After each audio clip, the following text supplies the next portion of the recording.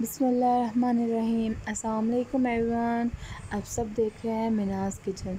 तो आज मैं अपने किचन में बनाने जा रही हूँ बहुत ही मज़ेदार से क्रिस्पी चिकन विंग्स, जो कि बहुत ही मज़ेदार बनते हैं और बहुत शौक़ से भी खाए जाते हैं। ख़ास तौर पर बच्चे तो बहुत ज़्यादा शौक़ से खाते हैं। उनको बहुत ज़्यादा पसंद आते हैं, ये खाना पसंद करते हैं वो। तो चलें आज बनाना स्टार्ट करते हैं क्रिस्पी चिकन विंग्स। जी तो यहाँ पर मेरे पास है, सबसे पहले चिकन, ये मेरे पास है तकरीबन वन एंड हाफ़ के जी चिकन है मेरे पास। और इसके अंदर सबसे पहले मैं शामिल करूँगी अदरक और लहसुन का पेस्ट आप ये चाहें तो आप इसको वो भी ले सकते हैं, आप पाउडर भी यूज़ कर सकते हैं, अदरक का अदरक का पाउडर और लहसुन का पाउडर भी यूज़ कर सकते हैं। उसके बाद मेरे पास है दो चम्मच लेमन जूस के। आप इसकी जगह सिरका यूज़ कर सकते हैं, मेरे पास सिरका नहीं था तो फिर मैंने इसकी जगह लेमन डाल दिया है। उसके बाद इसके अंदर हम शामिल करेंगे एक अंडा। इसके बाद मैं इसमें डाल रही हूँ, एक अंडा डाल रही हूँ। पहले मैं इसको सब डालूँगी और उसके बाद मैं मिक्स कर लूँगी। उसके बाद मेरे पास स्पाइसेस में है नमक है मेरे पास और ये मेरे पास भुना कुटा धनिया है। ये मेरे पास पपरिका पाउडर है। अगर आपके पास है तो ठीक है, नहीं तो कोई मुश्किल नहीं है। उसके पास ये मेरे, उसके बाद मेरे पास है ये भुना कुटा ज़ीरा और ये है मेरे पास भुनी हुई और कुटी हुई लाल मिर्च। ये मेरी अपनी घर की लाल मिर्च थी जिसको मैंने थोड़ा सा भून के और उसके बाद मैंने इसको कुट लिया था। और ये सब स्पाइसेस मैं इसके अंदर यूँ करके ऐड कर दूँगी, सब एक साथ ही डाल दूँगी। और फिर उसके बाद ये मैं थोड़ा स्पाइसी बना रही हूँ और इसलिए इसके अंदर मैं शामिल करूँगी। सोया सॉस सोया सॉस मैंने इसके अंदर तकरीबन एक चम्मच इसके अंदर मैंने सोया सॉस डाला है और उसके बाद इसमें मैंने शामिल किया है chilli sauce chilli sauce almost मेरे पास ख़त्म हो चुकी है तो ये इसका एंड था तो वो मैंने इसके अंदर शामिल कर दी है। जी तो यहाँ पर चिली सॉस मैंने इसके अंदर शामिल कर दी है तो अब मैं इसको कर लूँगी मिक्स जी तो यहाँ पे मैंने सारे स्पाइसेस मसाले जो भी हैं, सब कुछ मैंने इसमें शामिल कर दिया है। अब मैंने हाथ तो अपने अच्छे से वॉश कर लिए हैं कि मेक श्योर sure कि आप भी अपने हैंड्स को अच्छी तरह से वॉश कर लें। तो अब मैं यहाँ पे सब स्पाइसेस को अच्छी तरह से इसके अंदर यूँ करके कर लूँगी मिक्स जी तो यहाँ पर मैंने चिकन को विंग्स को अच्छी तरह से मसाला लगा कर रख लिया है। तो यहाँ पर मैं आपको एक बात बताती चलूँ कि अगर मसाला लगाने के बाद अगर आपके हाथों को लगती हैं मिर्चें तो आप ग्लव्स का यूज़ कर लें। और अगर आप ग्लव्स यूज़ नहीं कर सकते तो यहाँ पर मैं आपको एक टिप बता दूँ। और वो टिप ये है कि अगर आप मिर्चें लगाने के बाद अगर आपके हाथ में लग रही हैं मिर्चें तो आप अपने हाथ पर मक्खन लगा लें और मक्खन को अच्छी तरह से अपने दोनों हाथों पर मल लें। तो उसके बाद फिर थोड़ी देर के लिए पाँच से दस मिनट के अंदर अंदर आपके हाथों में जो मिर्च की जलन हो रही होगी, वो बिल्कुल ख़त्म हो जाएगी। ये एक बहुत अच्छा सा अच्छा एक टोटका भी कह सकते हैं आप इसको। तो अब इसको हम थर्टी मिनट्स के लिए कवर करके रख देंगे इसके ऊपर मैं वही प्लेट दे दूँगी जिस पे मैंने, जिस पे मैंने मसाले अपने डाले हुए थे। ये प्लेट इसके ऊपर मैं रख दूँगी और उसको मैं थर्टी मिनट्स के लिए मैरिनेट करने के लिए रख दूँगी।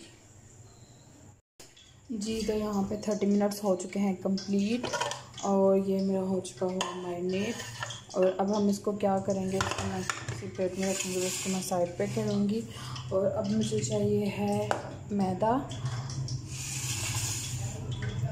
और मुझे चाहिए है दूध। ये ठंडा दूध है मेरे पास और ये मेरे पास एक कप मैदा है और इस मैदे के अंदर अब मैं शामिल करूँगी भर के दो चम्मच कॉर्नफ्लोर के। कॉर्न स्टार्च धोने की चीज़ है।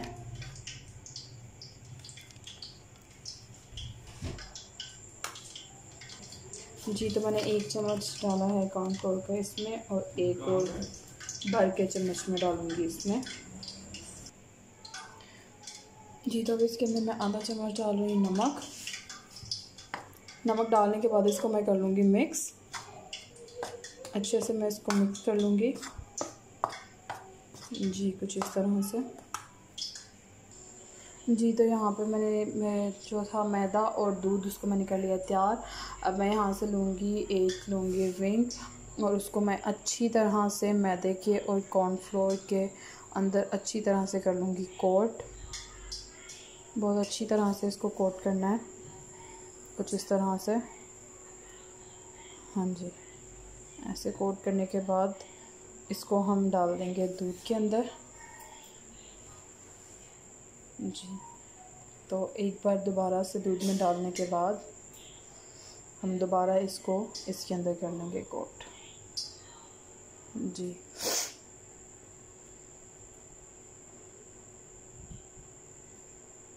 जी तो इसको मैं रख दूँगी एक डिश के अंदर और इसी तरह से मैं सारे कर लूँगी।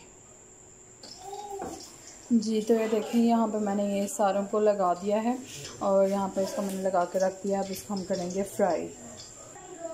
जी तो यहाँ पे मैंने आयल को कर लिया हुआ है गरम बहुत अच्छी तरह से और अब इसके अंदर मैंने जो अपने विंग्स रेडी किए थे, वो मैं ऐसे करके डाल दूँगी। जैसे कि आप देख रहे हैं, आयल कितना अच्छा सा गरम हो चुका हुआ है। अब यहाँ पे इसको डालने के बाद हम फ्लेम को कर देंगे मीडियम ताकि ये बहुत अच्छे से फ्राई हो जाए। जी।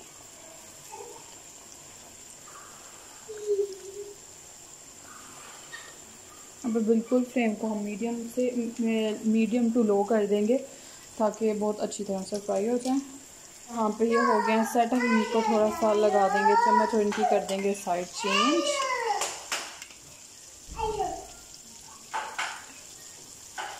जी, कुछ इस तरह से। और इसको हम तकरीबन इसको पकने में 10 से 15 मिनट लग जाते हैं अच्छी तरह डीपली कुक होने में।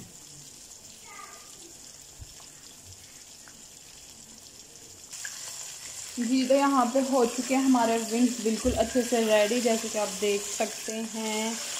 ये देखें इसको कितना अच्छा ज़बरदस्त सा कलर आया है। अब इसको हम निकाल लेंगे। इस तरह से। जी तो ये देखें कितने ज़बरदस्त ये तैयार हो गए हैं। अब इसको मैं निकाल लूँगी जी तो इसी तरह हम दोबारा से नेक्स्ट बैच इसके अंदर करूँगी ऐड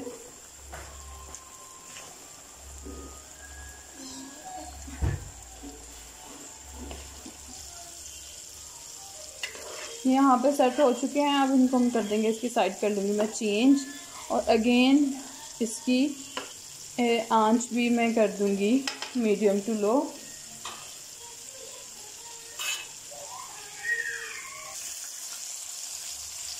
जी तो यहाँ पर मेरा दूसरा बैच भी हो चुका है, इसको भी हम निकाल लेंगे अब। जी तो देखें, ये भी कितना ज़बरदस्त तैयार हो गया है, मैं आपको दिखाती हूँ।